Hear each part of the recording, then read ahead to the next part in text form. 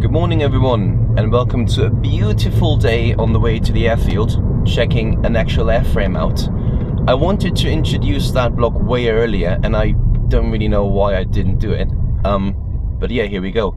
So you're actually joining me on a drive out to Lasham Airfield, um, where I'm looking at a standard Cirrus 75 as an airframe to purchase for our university. I don't know who of you is, is involved with um, the European program called Formula Student, ran by universities. Um, it's basically, I had the same idea to do the same thing um, as the automotive people are doing in aerospace as well. So um, the intention is, if the Glide airframe I'm looking at today is um, of good quality and it gets its MOT for gliders done again, um, we're in a very good position to actually purchase that one take it into a workshop in university, and then together with our students convert it into a motor glider. So the whole background idea is actually to make a non-CO2 emitting plane which is self-launchable, not just a sustainer as many other projects are doing at the minute, but we would like to have it self-launchable and ran purely on electric energy of course. As a power plant we're intending to use um, highly efficient outrunner brushless motor, a lot of torque involved and um, well say the the technology evolved and, and developed so greatly within the last five to eight years, I would say, that we're now in the position to actually convert this glider and run it with an electric motor. Briefly, I'd like to introduce myself, but before I go ahead with this one, I'd like to say sorry to you guys for the surrounding I'm in. I'm currently on the way very spontaneously to Lasham Airfield around Reading in the UK. Lovely day for it. Um, and the purpose of today is literally very advanced in the project already. I'll be looking at the airframe I'm intending to get today together with a friend of my gliding club from home um, who very very kindly agreed to help me out because he's an, he's an actual inspector for airframes and he's going to help me out today and we're going to run around the glider and see whether it's still airworthy or it will be getting another airworthiness certificate um, and yeah I'm literally on the drive there and I'd like to use this opportunity to actually introduce myself and the whole project I'm working at. So my name is Kim and um, I've been in the UK for about three years now. Came over as an international student, finished my aerospace studies here. Then funny enough, this university I'm with um, offered me a place to work, offered me a job and I couldn't really say no. It was, it was too good to be true really because once you get the chance to to work on those projects you really love and you're excited about doing and you actually earn money with it sorry I couldn't really say no. No you got me. Um, yeah what else you need to know about it? Um, I've been working one year as an e-learning and outreach developer.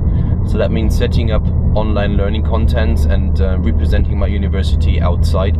That means going to schools and doing activities with kids represent university at open days and all work that was really great and, and exciting to do. Um, and I've had this idea about this electric glider for a very long time in my mind, for about four years. I'm from a radio control background that sort of made me an engineer, an aerospace engineer, and you know, flying little radio control planes. Started gliding at the age of 14. Um, that was probably the best thing I ever did in my life. Um, thanks so many people back home, um, which is Germany by the way, for like making me who I am in that sense. Um, and yeah, so those two sort of areas of, of flying combined made me think about, hang on a minute, why not having an electrical propulsion unit in a manned glider? I mean, of course, um, there's some technology involved as well in that. It's It wouldn't be possible solely on, I just have this idea. But from the development around the radio-controlled flying in general within the last five to eight years, is absolutely it's that gorgeous that we now got the opportunity and the technology um, in terms of electric motors, in terms of batteries, in terms of power management, um, that we are able now to equip a single-seater glider with an electric propulsion unit. So you caught me on the drive um, to Lasham Airfield around southeast of Reading in the beautiful UK on a day like this. We got blue skies, we got very, very nice weather going on and I'm very excited to look at an airframe today, which is going to be a standard Cirrus 75 by Schempp-Hirth. Um, I should give you a little bit more information around it, didn't I? Um, the idea is to use the Cirrus solely because for what it is, it's gorgeous. And let me explain to you why. Alright, we arrived at the glider. Um, just had the first sort of inspection of they're now split in two session. Um, so we checked the fuselage, we did check all the connections for the um, the wings as well as the tailplane which goes on.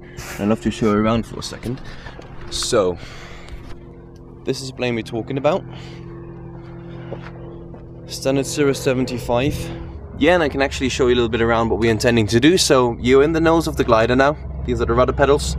Um, the intention now is, and this is because I'm looking forward to get an actual Cirrus as a glider, is use all that space here. I hope you can see it well. Um, to in-house the motor really. So that that cap comes off. We're going to be re, we're going to be taking out all the mechanics for the actual rudder and then chop the nose off quite literally about where this wall goes at the minute.